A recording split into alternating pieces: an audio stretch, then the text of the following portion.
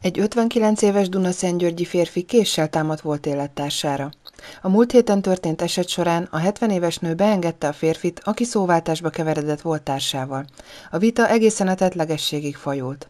Telefonon érkezett bejelentés 2023. július 28-án 12 28 perckor Dunaszentgyörgyről, miszerint egy ház udvarán egy férfi megszúrt egy nőt. A helyszínre érkező kollégáknak a 70 éves sértett elmondta, hogy a volt élettársa hivatlanul érkezett az udvarba, majd leült. Némi szóváltást követően ő megpróbált a házba bemenni, akkor a férfi utána lépett, egyik karjával átölelte, és másik karjában tartott késsel mákason szúrta.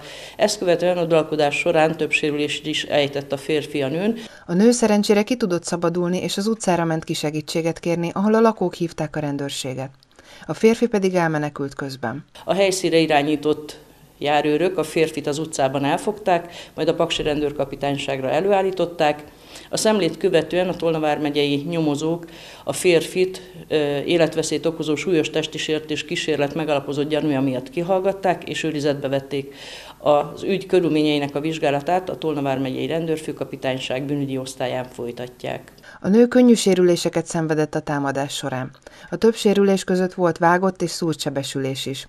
A férfi időközben szabadlábra került, de távoltartási végzést hoztak ellene.